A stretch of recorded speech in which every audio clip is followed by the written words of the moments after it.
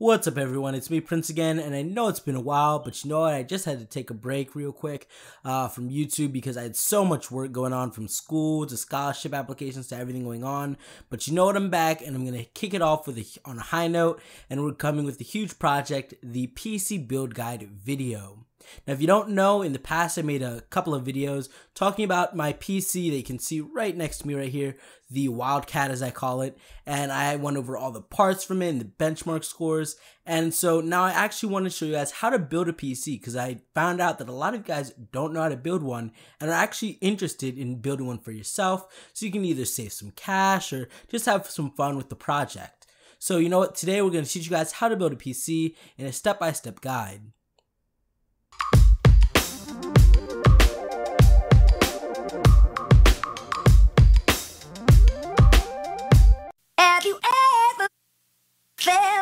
Are you listening?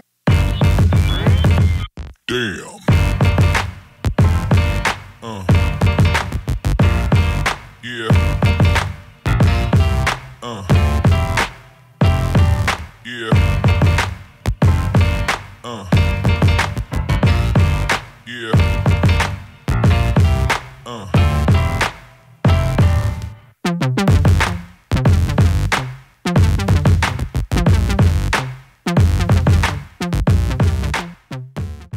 Now when I bring up building a PC, the first thing I hear is either one of two things. Either how hard is it to build a PC or if it's not that hard, what materials do I need because I know it's gotta be probably like a whole bunch of special equipment that I don't have access to. And in reality, it's the answer to those, both of those questions is actually not much. Uh, it's not that hard to begin with. Uh, now, of course, there are going to be a lot of steps, and it will take some time. Definitely devote a good afternoon to actually building the PC, and a bit of time before that researching and watching a couple of guides. Of course, mine isn't the be-all and end-all. I definitely recommend checking out some of the videos on building a PC. Uh, and also, when it comes to the second question, uh, in terms of tools, you're not going to need much besides a Phillips head screwdriver, which I'd be surprised if you don't already have one, actually.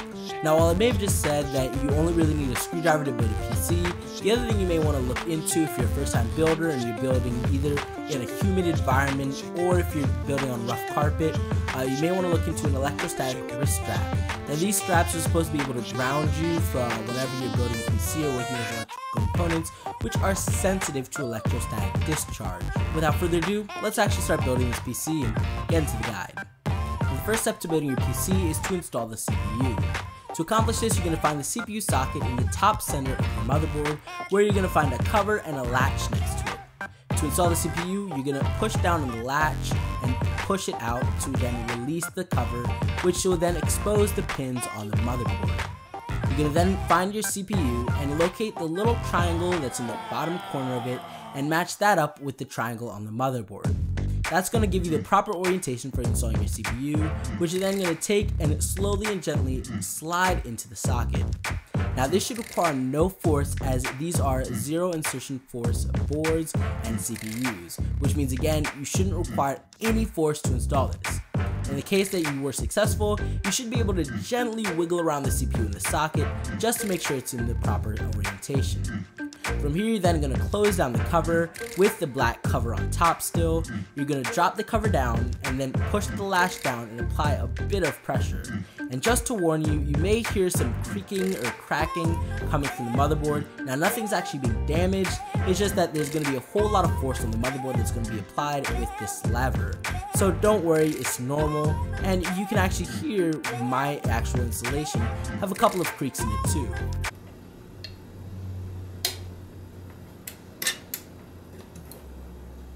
Getting back to the build, you're going to want to keep that little black cover that you just saw fly off as that will be necessary in case you ever need to return your motherboard or resell it as the manufacturers require that that's there to prevent any damage coming to the board.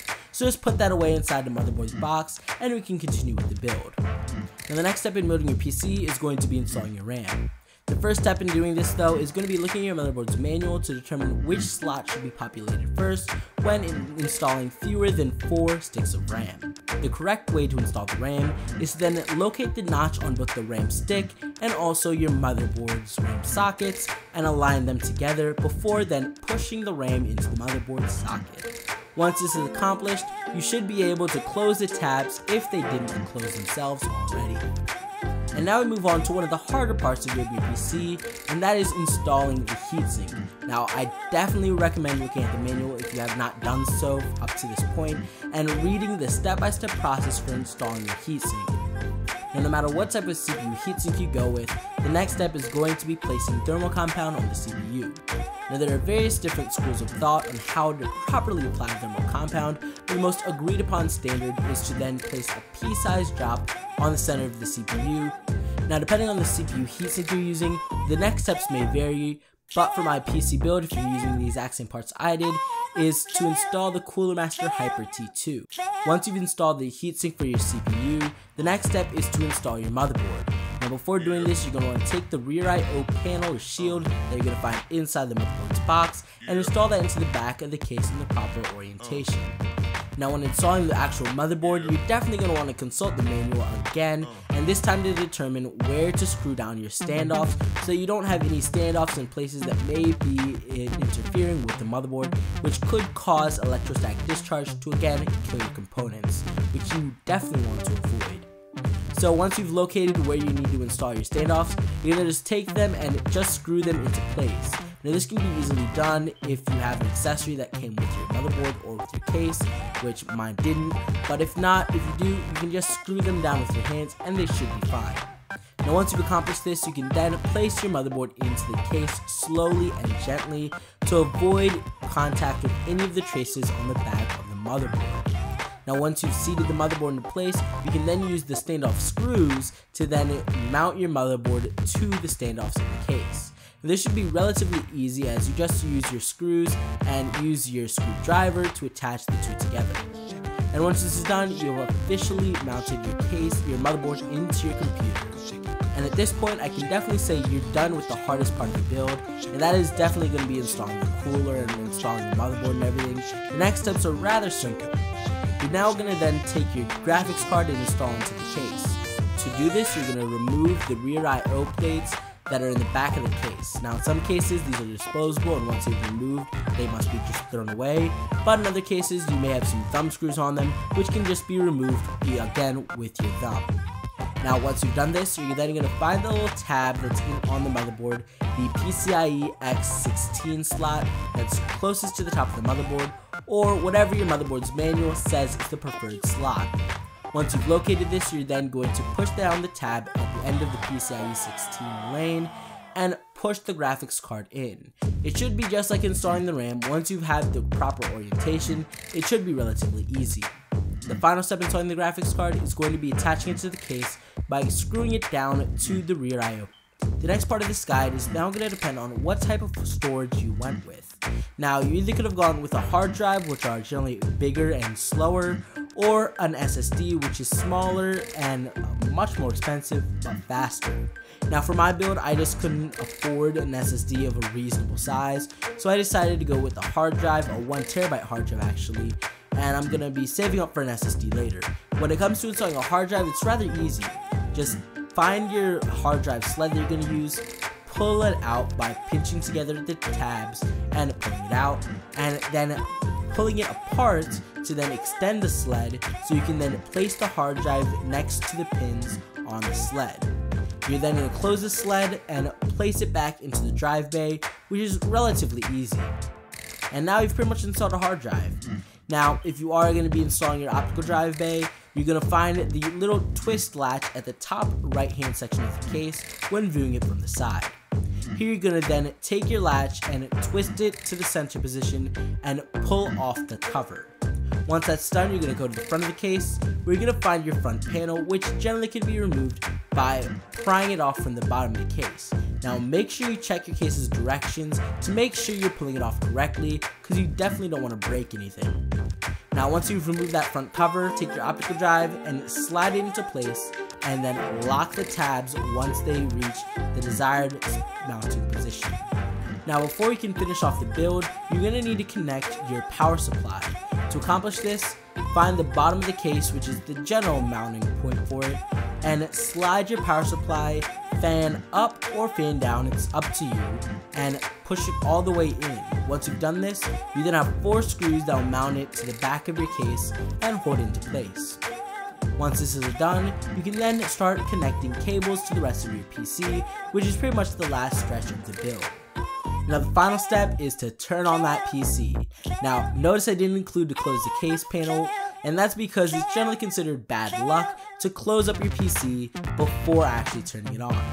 Here, from here just turn on the PC, pray that it works and hopefully you guys will have a fully functional PC. If you do see your PC turn on and some lights start going off inside the case, you are good. You should start noticing if you connect it to your monitor yet. Uh, you should notice some splash screens start to show up, which are generally uh, from the motherboard manufacturer's company, and hopefully you have a fully functional PC. If you do, you can close the side panel window now, and also install Windows or whatever other operating system you plan to use.